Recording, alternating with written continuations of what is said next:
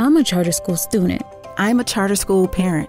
A supporter. A teacher. A charter school founder. I vote. I vote. I vote. I vote. I vote. I vote. And, And we support charter schools. These are the real faces of charter schools. 70% of students are black or brown.